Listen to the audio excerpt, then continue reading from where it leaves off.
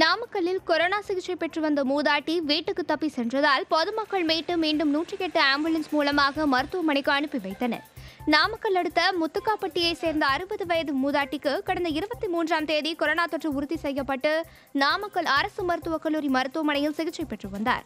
மருத்துவமனையில் திடீரென காணாமல் போன மூதாட்டி தனது வீட்டுக்கு ஏழு கிலோமீட்டர் தூரம் நடந்து சென்றுள்ளார் மூதாட்டியை கண்ட கிராம மக்கள் அதிகாரிகளுக்கு தகவல் அளித்ததை அடுத்து மீண்டும் மருத்துவமனையில் அனுமதிக்கப்பட்டார்.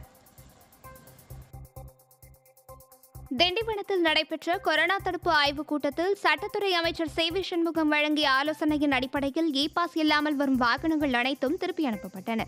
சென்னை திருவள்ளூர் செங்கல்பட்டு காஞ்சிபுரம் ஆகிய மாவட்டங்களில் இருந்து வரும் வாகனங்கள் திண்டிவனம் ஓங்கூரில் சோதனை செய்யப்பட்டு அனுப்பப்பட்டு வருகிறது. முழு ஊரடங்கால் வாகன போக்குவரத்து இல்லாமல் வெறிச்சோடி காணப்பட்டன.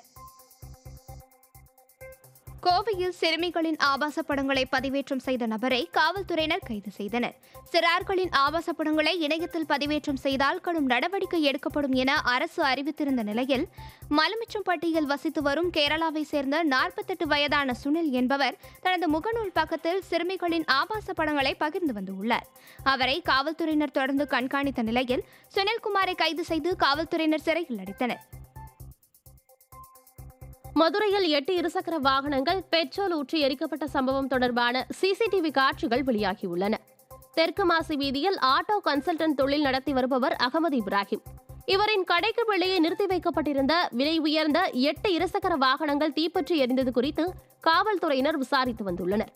அப்போது அப்பகுதியில் இருந்த சிசிடிவி காட்சிகளை ஆராய்ந்து பார்த்தபோது இரண்டு அடையாளம் தெரியாத நபர்கள் இருசக்கர வாகனங்களை தீ வைத்து எரித்துவிட்டு தப்பி ஓடிய காட்சிகள் பதிவாகியிருந்தது.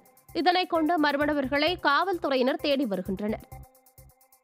நாமக்கல் மாவட்டம் ராசிபுரம் அடுத்த வெண்ணந்தூர் ஒன்றியம் ஆனந்த கவுண்டம்பாளையம் ஆலம்புபாளையம் ஆகிய கிராமங்களில் மஞ்சள் காமாலை நோய் பரவி வருவதால் பொதுமக்கள் அச்சமடைந்துள்ளனர்.